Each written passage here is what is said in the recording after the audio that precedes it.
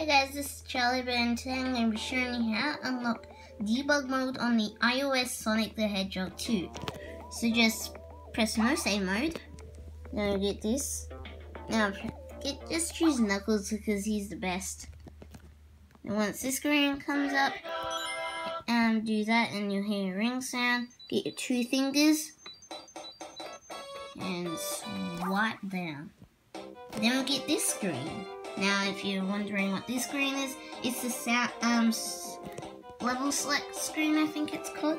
Well, if you come down here, there's a sound test. Now, if you type up in the right thing, you'll get debug mode. So just one, nine, nine,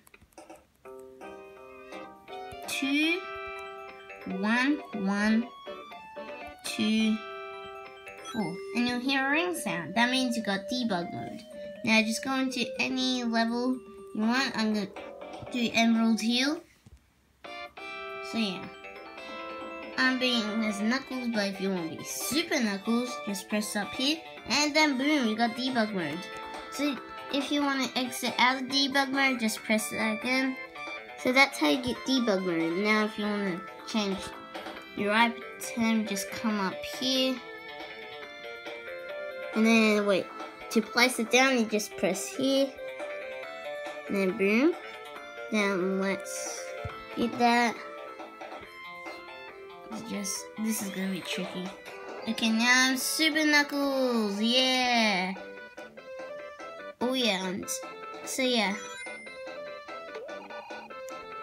So that's how you unlock debug mode. It'll be a bit easier.